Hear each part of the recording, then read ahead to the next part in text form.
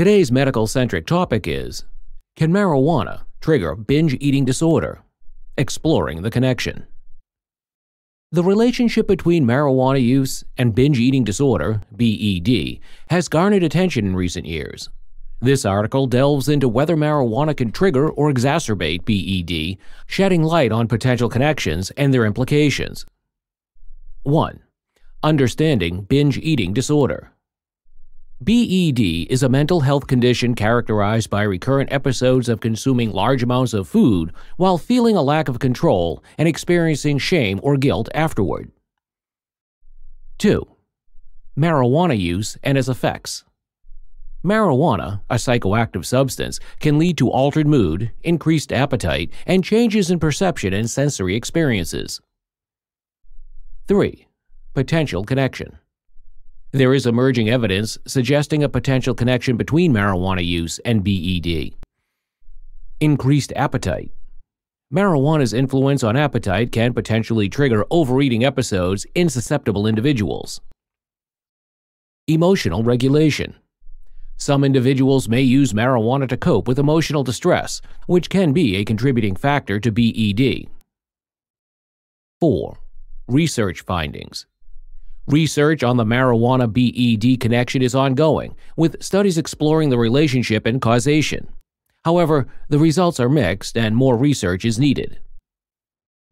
5. Individual variability.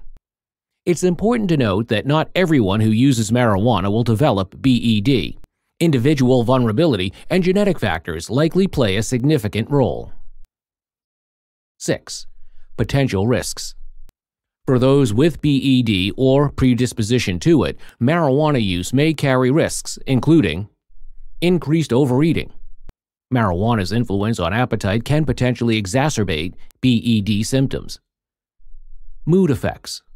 Using marijuana to cope with emotions may not address the root causes of emotional distress. 7. Treatment and support.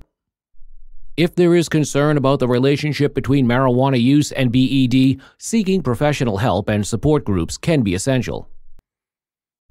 8. Preventative measures. Preventing the potential triggers of BED, including marijuana use, involves awareness, recognizing the relationship between marijuana and BED, healthy coping mechanisms, learning and utilizing healthier ways to manage emotions and stress. 9.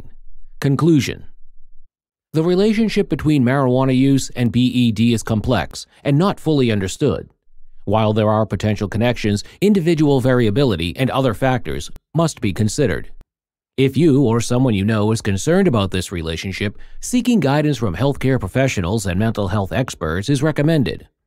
Ultimately, addressing the root causes of BED and finding healthier coping mechanisms are essential steps towards better mental and emotional well-being. Thank you for watching our video. Please do not forget to like and share the video. Also, please subscribe to the channel to stay updated on our latest videos.